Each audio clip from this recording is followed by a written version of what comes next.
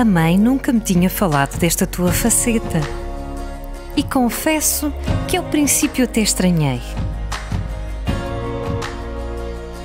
Parece que afinal não conhecia tudo o que trazias em ti. Este segredo foi uma revelação. Vê-los voar lá em cima. Não imaginava as cores que se escondiam na natureza, as texturas, os sons e rituais.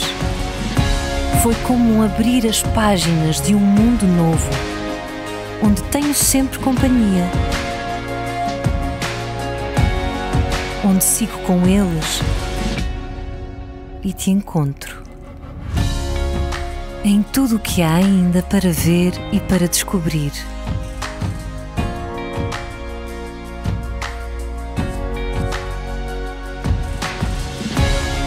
Agora já percebo, porque dizias que acabamos sempre por encontrar a nossa verdadeira natureza.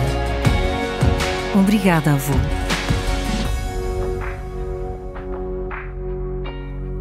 Observadora,